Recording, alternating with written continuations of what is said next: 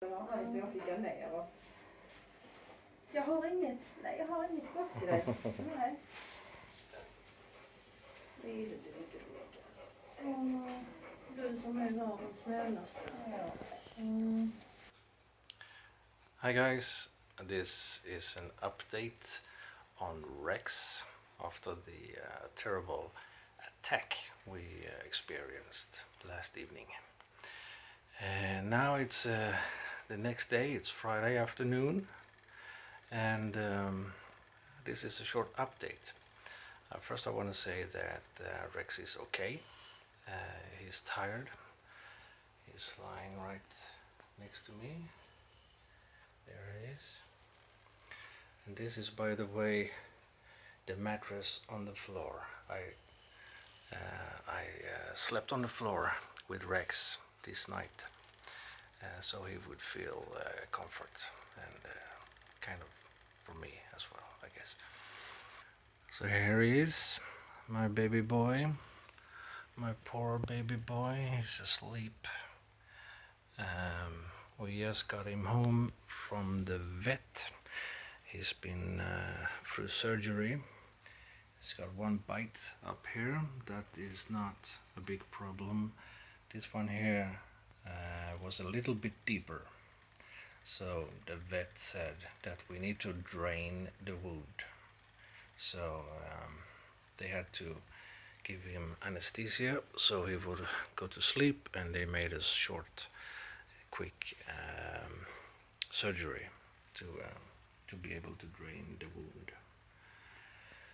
And uh, he's still waking up from the surgery. He's uh, very tired. He just got home, and he had those cone things around his head. so poor baby. Hi, Snåltebuff. Här kommer din mannen. Hi, lille vännen.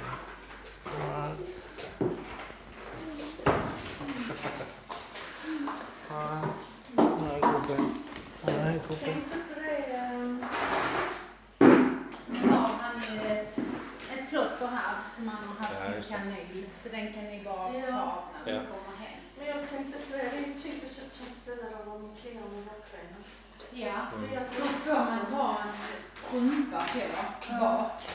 Eh, tratten är ju för att han inte ska komma åt och slicka och så, men det har du helt rätt i. Så kan man sätta en barnstrumpa på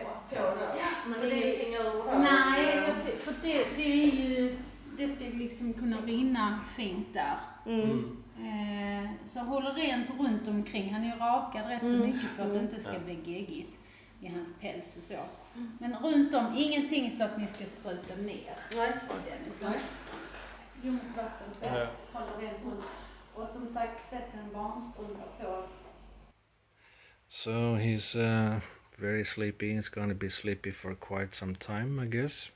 Last time we um, had him use um, anesthesia was when we made an X-ray of his uh, joints uh, on his legs, and that's for the breeder, um, just to make sure they are okay, and they were. There was not a problem, but when he was um, using anesthesia last time, it took a long time before he wake up really to be himself again. So I'm sure he'll be fine at the end of all this. And they, as you can see, they have um, shaved his hair around um, the injury, and there was an actually uh, there's a little bit blood there. There was actually a bite on this side as well, a small bite right here. We didn't notice that first. The vet noticed that. So he will, of course, get painkillers, so he won't feel any pain. I don't think um, he'll be limping that much anymore, not with the painkillers. When he woke up this morning, I was afraid he would not even be able to stand up, but uh, he had no problem standing. Excuse me. And uh, very little problem walking, hardly any limping at all. But that was because he got a painkiller last night. That was still in effect. Um, so, I'm sure with painkillers he'll be fine for a while. And also he is um, getting antibiotics because they were afraid that um, because the injury was so close to nerves that um, there might be an infection. So they said might as well give him painkillers as well. Um, so that's my poor baby. He's asleep, more or less, half awake, half asleep. Let's see if I can get his face.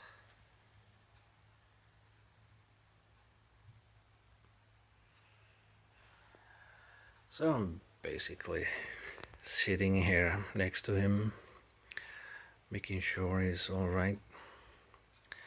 Um, and he will be all right, I think. Uh, tomorrow he'll be just fine. I don't think we need that cone even because he can't reach to lick those areas. The problem will be if he's uh, scratching with his back legs on on this area here. That will be a problem. Uh, so we'll try to make him not do that.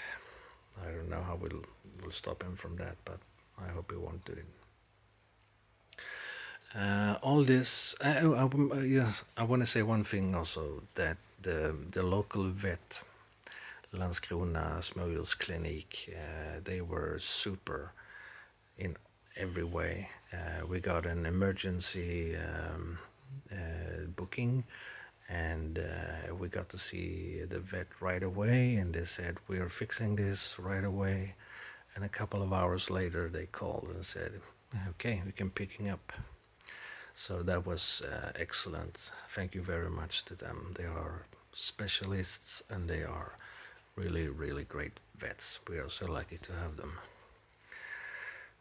And so what what did all this cost? With the medicine and the um, examination and the uh, surgery and everything anesthesia and all that uh, that costs 6400 swedish crowns that's uh, the same as about uh, 676 us dollars or 600 euros uh, normally we would tell our uh, insurance company to take care of, of this and we would just pay uh, like 10% or something. Um, but in this case, it was not Rex who was the bad guy, it was the other dog that attacked him. So the other dog's owner has said, I pay all the bills and uh, I will meet him later tonight uh, at his home, and we will clear up what happened, and he will pay the the veterinarian and the medicines and everything. And he will in uh, he will talk to his insurance company, I guess. So the money is not a problem. So even if uh, that was not the case, that would not be the problem anyway, because we got insurance on Rex. Um, and uh, yes, uh, many of you guys who had um, made um, uh, comments uh, on the last video said you must do a police report, uh, and I will. I will do a police report. I just want to make sure I'll get the money first, and I do a police report. Um, the man whose uh, dog attacked us is um, uh, he said he's very sorry actually he called me i called this morning said that we are going to the vet and, and so on and uh, he called he called us uh, right after we came out from the vet and he was asking how how was it going and how is rex and everything so he's he's a good guy but i'm not sure he's the good correct guy to handle a Rottweiler because um, this wouldn't happen if he was that guy. Uh, he said actually that he was thinking about giving away the dog or something like that. I, he didn't. I wasn't even sure he wanted to keep the dog after this. He was kind of startled actually, and he was uh, very sad about everything that has happened. So Rex will be fine. Um, and on Tuesday we will go to the vet and they will pull this one out and he will be fine. And he will have this uh, ridiculous shaving for a while, I guess. Uh, you need to show the other side to the ladies, Rex, so they don't see your ridiculous uh, shaving. So I will have to talk to a dog daycare. Uh, he will stay home all weekend, of course, and uh, he will stay home Monday, Tuesday, and we'll see on from that how we how we deal with it. Maybe the rest of next week, maybe. And after that, I'm working next week, but after that, I'm uh, home on vacation, summer vacation. So, um, another shot of Rex sleeping. He's saying thank you, everyone. I just want to say thank you, everyone. You have all been so nice and uh, so much love you have shown Rex and me, and um, we thank you very much from the bottom of our hearts for all the love you have uh, given us during this uh, sad moment in Rex history. Um, so thank you for all the love and all the support, and I will keep you posted about uh, whatever happens to Rex and his injuries. But I'm uh, expecting a full recovery. Uh, the only thing I am afraid of is that if his back paw will scratch this area, that's not good. So we had to prevent that somehow. So, okay, this was not the Friday video I was expecting to uh, show you guys, but um, as I said, I will uh, watch over Rex and um, thank you again for all the love and support. See you around next time, guys. Have a good weekend. Bye.